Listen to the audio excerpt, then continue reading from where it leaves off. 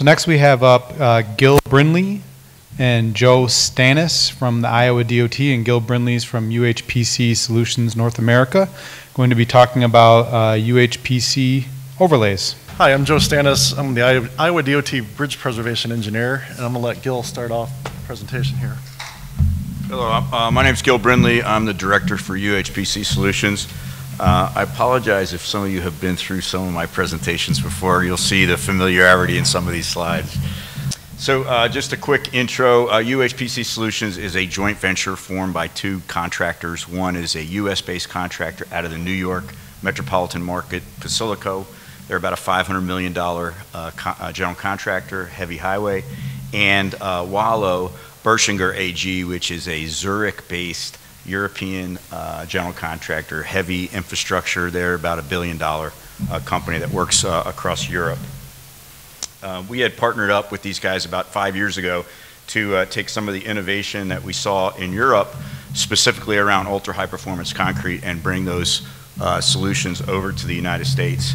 Um, so, for those of you who don't know, UHPC is a, a concrete material, but it's different from regular concrete.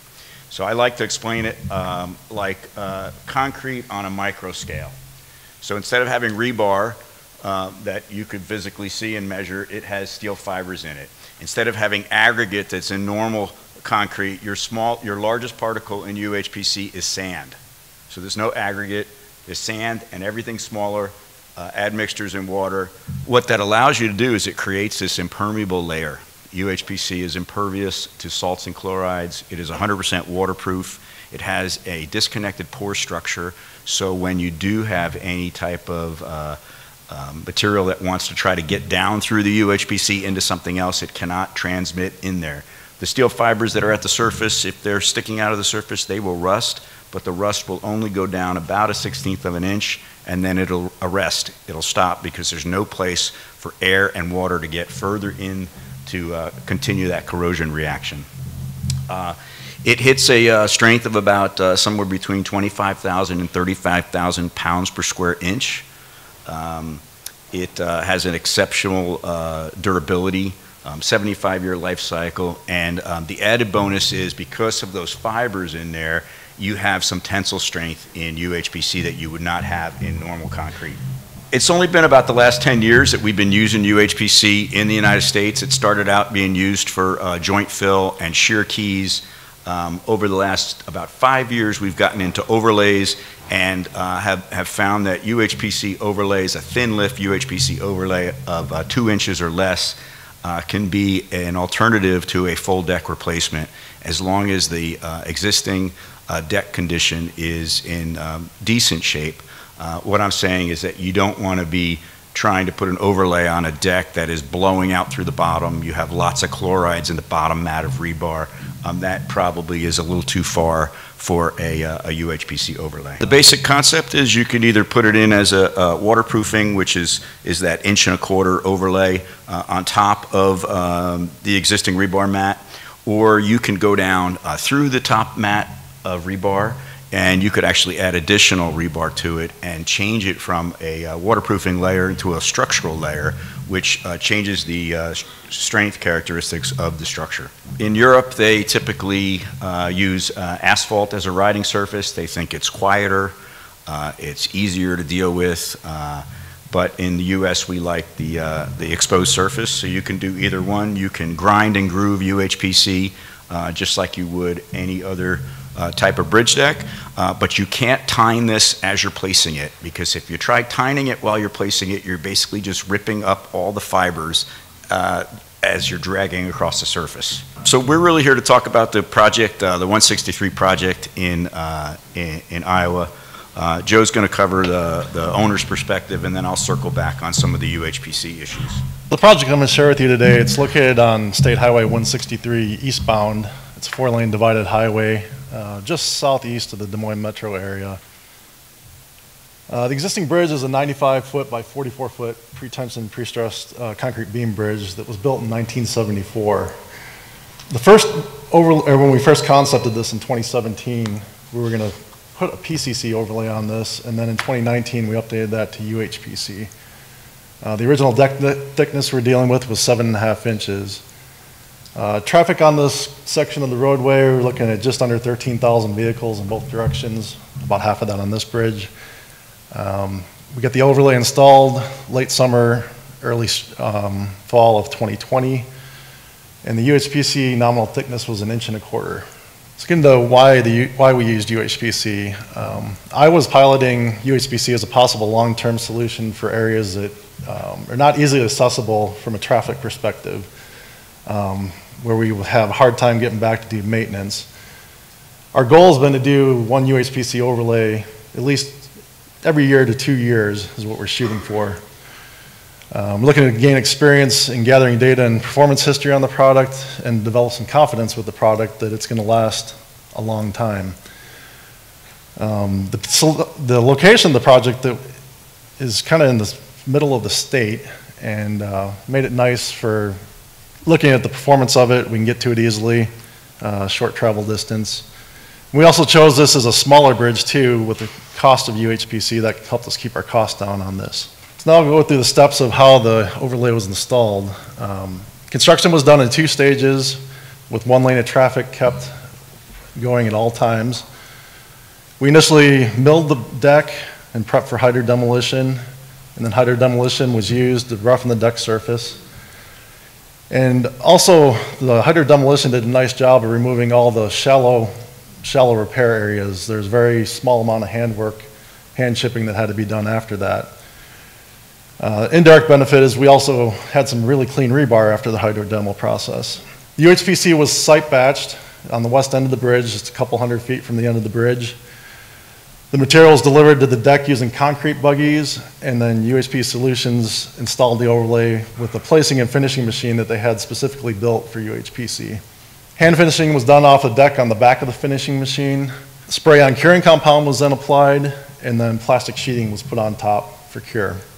Longitudinal grooving was done at the end of the project. We had an out-of-state subcontractor to do the longitudinal grooving, and he only wanted to mobilize once. So that meant we were opening stage one, one up to traffic prior to it being longitudinally grooved. And what the contractor chose to do was to shot blast the surface, and then we tested that for skid resistance, and it worked out fine for a temporary situation. So two year, we're about two years old on the overlay now. Um, no issues to date.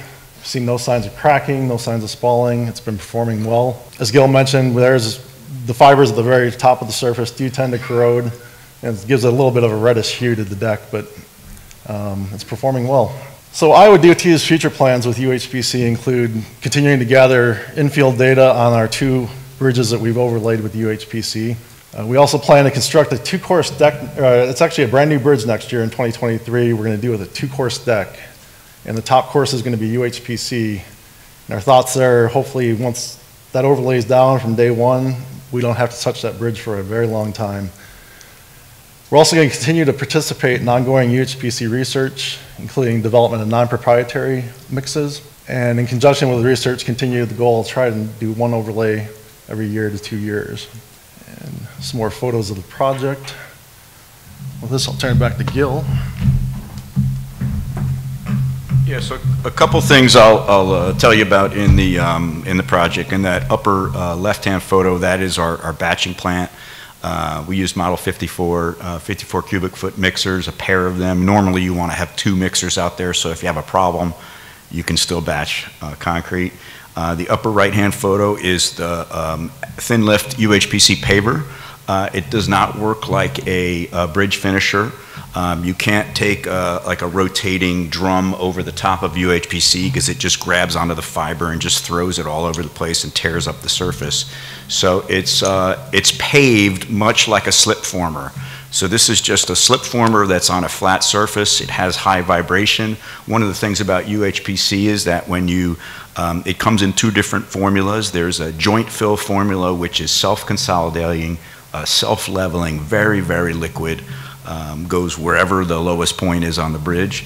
And then we have overlay formula, which has to be a lot thicker because it's got to hold a slope, whether that's a curl slope or a, a, a longitudinal slope on the, on the bridge. So they use, um, the, the formula is slightly different for an overlay. It's called a thixotropic mix or a thixotropic material, which means when you um, put it down on the deck, and you just leave it alone. It sits there and it holds a slope. When you vibrate it and start adding energy to it, it smooths out. Once you take the energy off of it, it holds the slope again. So that's essentially what's that, what that uh, paver does, is it, it screeds down the UHPC and vibrates the top surface and through, down into the UHPC so that it will consolidate around rebar or whatever you're placing it on. The uh, cure time for a UHPC overlay is in um, 48 hours to 72 hours. Of course, that's depending on temperature, just like a lot of other concrete. Um, it'll hit about 11,000 psi in that uh, two days or uh, three days, which is typically the um, strength requirement in order to load the deck. So if you have to, you're going to put traffic on it, you're going to have to hit 11,000. Before you can put your grinder groover on it, you need to hit 11,000 psi. Uh, if you use UHPC for a joint fill, um, that speeds up the curing time, and you could get 12,000 psi in about 12 hours, depending on the formula you use and, and, and what your conditions are. A couple of success factors for this project, obviously surface preparation. Uh, hydrodemolition is a great uh, technique for removal of all damaged concrete, weaker concrete. The hydro demolition robots don't know any, they're stupid. They just push water at a very high pressure at the deck, and whatever is weaker comes out. That's great for owners who have, want to make sure that they have a really good substrate to put an overlay on, any type of overlay. In this case, we did some milling first. Um, Milling is also a good way for removal. It's cheaper than hydrodemolition, but you have to remember in milling that it is striking the surface of that concrete deck, and it will leave microfractures that could go about a half inch deep. So the best combination we found is milling and then uh, hydrodemolition or hydroscarification after to make sure you don't have any cracks in that existing substrate. Efficient mixing, you have to time all this so that, ev- and everything has to be sized right. If your paver is a certain width and you have to do a certain width of placement at a certain depth, you're going to have to make sure that you have enough yardage on the deck to keep up with the paver or uh, either way. I mean, your paver has a speed, your mixing has a speed, your buggies are transferring, so you have to put that whole system together to make sure it all works. Curing is really important. We used uh, curing compound and plastic on this job. Uh, when you're on an elevated bridge, the plastic doesn't work so well because the wind picks it up and blows it all over the place, and you really can't put anything down on top of the plastic to hold it down. We have taken water and sprayed it on the plastic on top of a new UHPC placement, and the water will depress the UHPC. During that first, those first like six to eight hours when it's still in a plastic state, you really can't put anything on there. If you need concrete blankets, you better wait 24 hours before you put concrete blankets on it, or it'll dent your surface. Um, you get a nice clean surface, and then you want to come back and, and uh, grind and groove it. Um, why do you grind and groove it? Because the placement, this stuff is very finicky material. It, it likes, when it decides it's going to set up, it sets up where it is. So you end up with some little roll in it when you place an overlay that you want to take out with grinding and grooving so that you have the good rideability. A couple of the projects that we're um, working on now, some larger projects, the Delaware Memorial Bridge, we did a pilot project in 2020 and did three small sections. And they decided to move forward with the whole um, northbound bridge. It's a 5,000 cubic yard UHPC job. Uh, We're currently in the first uh, season of that and uh, doing one quarter of the bridge. We're about three placements from finishing up all the UHPC on that, and we're on a very long grinding, grooving pr- uh, process, like two weeks of grinding and grooving to get all that done. Uh, We built some custom batch plants for this. We're able to put out, a- uh, out of a batch plant about 12 yards an hour, uh, which is really nice. One of the other projects we worked on was the Commodore Barry Bridge, another East Coast bridge. Um, I- You know, I show you these because I think that as, as other large structure owners see um, how these projects perform, they're looking at solutions, and one of those um, that they're entertaining is UHPC. So I, I think we'll continue to see more larger projects with UHPC overlays in the future. I've got a bunch of other uh, lessons learned from a contractor's perspective, but I'll, uh, I'll, s- I'll spare you on that. And uh, if you want to stop by our, our uh, booth this evening, I can answer any questions you have. Did you say you were going to try a bridge deck poured in two lifts? Correct.